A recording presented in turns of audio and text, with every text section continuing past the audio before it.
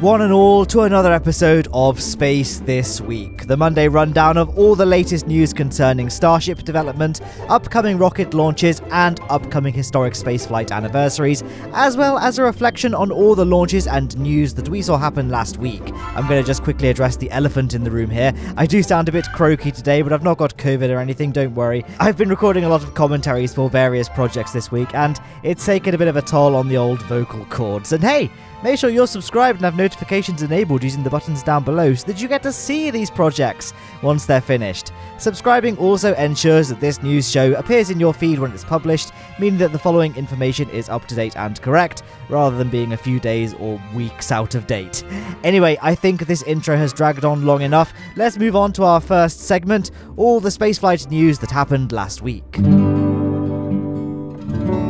In terms of orbital rocket launches, there's not a great deal to discuss regarding last week, as we only had the one launch. It was on the 29th of January and was a Chinese Long March 4C rocket, which launched from the Jiuquan Launch Complex. On board were three Yaogan Chinese reconnaissance satellites, which were successfully deployed into low Earth orbit. Now, just because there were no other rocket launches doesn't mean that last week was completely devoid of news. On the 28th of January, NASA conducted the first hot fire in a new series of tests for the RS 25 engine, an engine formerly designed for the space shuttle that has been upgraded for use on NASA's massive upcoming Space Launch System, or just SLS, on future deep space missions. Moving along to Boca Chica, SpaceX have been making progress with their Starship. The prototype everyone is watching right now is the SN9, which will perform a high altitude flight to around 10 kilometers in a similar fashion to the SN8 though hopefully with a slightly softer landing this time. We unfortunately saw a few attempts last week, but no launch. The first attempt was on Monday the 25th, which was then scrubbed and moved to Thursday the 28th, where everything seemed to be going to plan. But then the Federal Aviation Administration apparently wouldn't permit flights to proceed, prompting this tweet from Elon Musk, implying that it seems to be government bureaucracy that's keeping the SN9 on the ground rather than the vehicle itself. The third and final attempt of the week was on Friday the 29th, but once again no flight took place. However, unless anything changes again, we may not have to wait too long for the next attempt. It's today, February the 1st, so we might only have to wait a few hours to finally see the SN9 soar. Watch this space. X.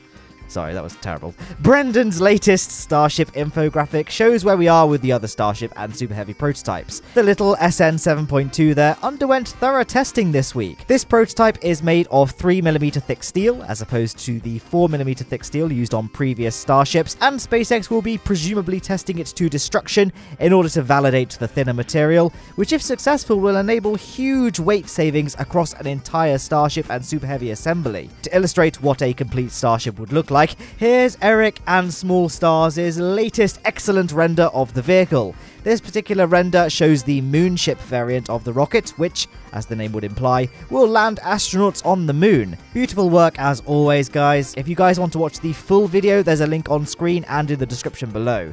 But back to the SN 7.2 again. So far, it's not been confirmed what pressures the tank will be pushed to, but Elon has confirmed on Twitter that initial testing has been a success. The SN 7.1 was tested to 8 bar before destruction, so presumably this is the ballpark pressure that SpaceX planned to push the SN 7.2 to. Back to full scale prototypes, the SN 10 was completed last week after its aft flaps were attached, and wanting to waste no time, SpaceX rolled it out of the high bay and onto a second launch pad, right next to the SN9. This is an incredible sight to see. Two Starship prototypes both preparing to launch in such close proximity, and when adding the SN 7.2 to the mix, this is three Starship prototypes all together and completed, ready to undergo testing. Though the SN 10 can't quite fly yet, as it will need to undergo cryoproofing before the three Raptor engines can be mounted. But SpaceX's rapid progress with development really is a feat of its own, and I have no doubt we won't have to wait too long to see the SN 10 flight ready. In sadder news, we saw the SN12 undergo disassembly last week, making this the third prototype, along with the SN13 and SN14, to be cancelled. Presumably, this is because SpaceX found that major modifications would be needed following the acquisition of the data from the SN8 flight, and that it would just be easier to scrap the prototypes rather than upgrade them, and shift all focus to the SN15, especially considering that we still have the SN9, SN10, and SN11 to conduct test flights in the near future. Elon Musk confirmed on Twitter that the SN9 to 11 would only feature minor upgrades over the SN8, but the SN15 would see major improvements. Exciting times ahead, I'm sure. But we'll leave our Starship coverage at that for this week, but we may have some very exciting news to discuss on next Monday's episode if things go as well as SpaceX hope this week. Before we move on to the next segment, if you're enjoying this video, then do please remember to leave a little like down below. It really helps us stay above water in the algorithms of YouTube. And once you've done that, you can sit back and relax to the next segment or the launches planned to take place this week. On the 1st of February, today, we should see the launch of the next SpaceX Starlink mission. This was delayed from the 27th of January, and hopefully everything with this launch is now sorted and we'll see the mission succeed today. The Falcon 9 will launch from the Kennedy Space Center with 60 Starlink satellites on board. The first stage will attempt to land 633 kilometers downrange on the Just Read the Instructions drone ship, and the fairing recovery ships Tree and Ms. Chief will be attempting to recover the fairings. Hopefully, SpaceX will pull this one off as effortlessly as they always seem to do. Tomorrow, on February the 2nd, we'll see a Soyuz 2.1B take off from the Plesetsk Cosmodrome carrying a Russian Aerospace Forces military intelligence satellite. The Soyuz is one of the most reliable rockets in the world. In fact, there's a good argument to be made that it's the most reliable, so I would hope that this will go ahead as planned without any unexpected delays. On the 4th of February, SpaceX will launch another Starlink flight. I'm not going to really talk about this one, there's no need to repeat myself since I literally only just covered the previous one. This mission will follow a similar profile to Monday's. The 5th of February will see China launch their Long March 3BE rocket, which will carry their Tianhui 3 Earth observation satellite into geosynchronous Earth orbit, capping off this week's launch schedule. Now, next week does look quite lonely, actually, as the next planned launch after Friday's Long March flight is another Soyuz 2.1 on the 15th of February, meaning we'll have a whole week without launches.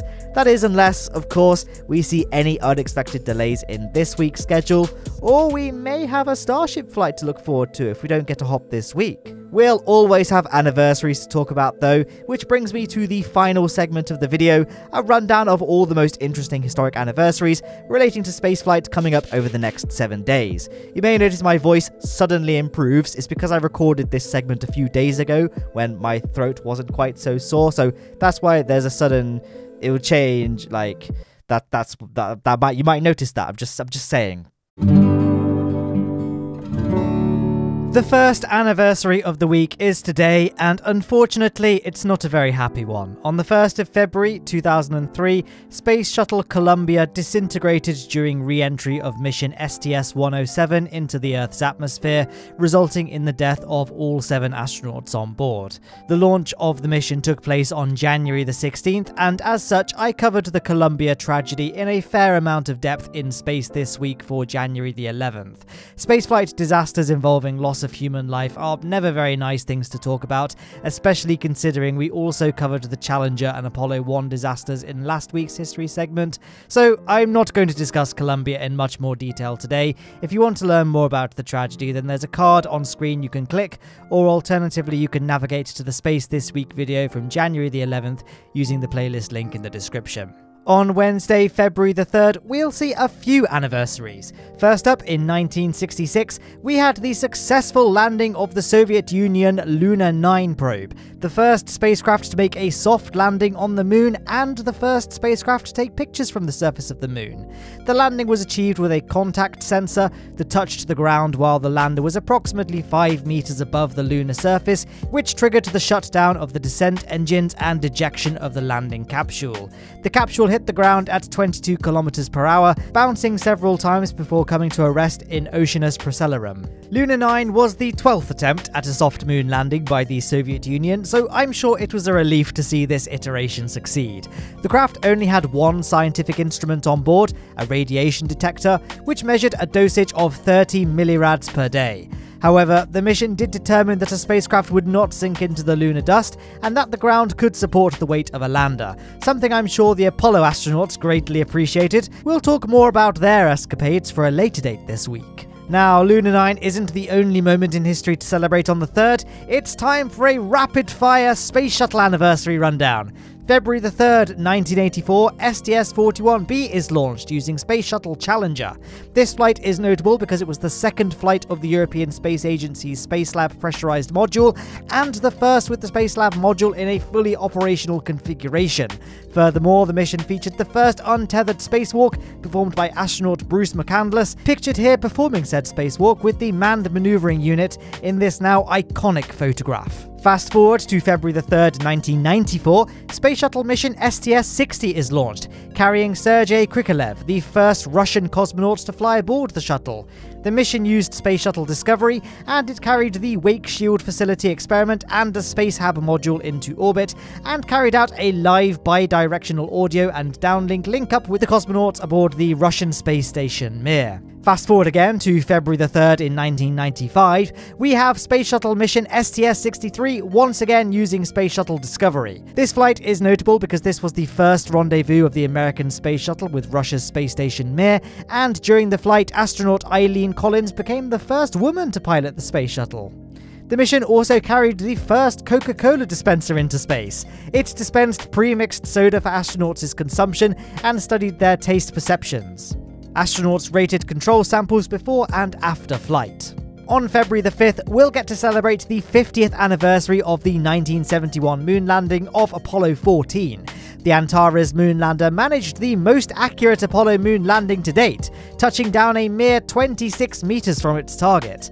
Touchdown was in the hilly uplands of the Fra Mauro crater, about 110 miles east of Apollo 12's landing site. The two astronauts, Alan Shepard and Edgar Mitchell, travelled more than half a mile from the lander, conducting selenological investigations, collecting samples, and attempting to reach the rim of Cone Crater, approximately 90 meters above the landing site. They collected 42 kilograms of rock and soil for return to Earth, and the samples were scheduled to go to 187 scientific teams in the United States, as well as 14 other countries for study and analysis. The liftoff of Antares from the lunar surface took place precisely on schedule, and it rendezvoused with the command module Kitty Hawk successfully, which then splashed down safely in the Pacific Ocean on February the 9th, exactly 9 days and 2 minutes after launch. On February the 6th, 2018, SpaceX's Falcon Heavy made its maiden flight. Its little brother, the Falcon 9, features prominently on this series. There's a lot more demand for medium lift launch vehicles, but the Falcon Heavy is certainly a force to be reckoned with as well.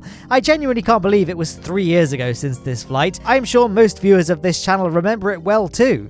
To recap what I'm sure doesn't really need to be recapped, the massive rocket took flight, carrying Elon Musk's Tesla Roadster and Starman, a dummy pilot in the driver's seat, on board. The rocket was comprised of three Falcon 9 first stages, the side boosters jettisoned shortly after launch, touching down together on adjacent landing pads in what is undoubtedly one of the coolest looking things I have ever seen.